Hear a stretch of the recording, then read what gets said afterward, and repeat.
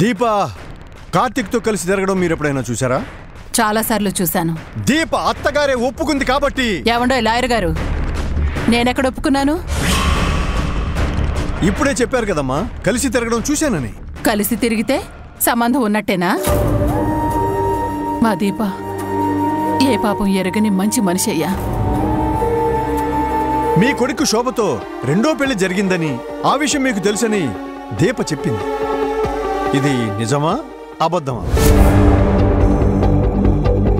మా ఊరు ముత్యాలమ్మ తల్లి మీదొట్టు నా కొడుకు శోభని రెండో పెళ్ళి చేసుకున్నాడు.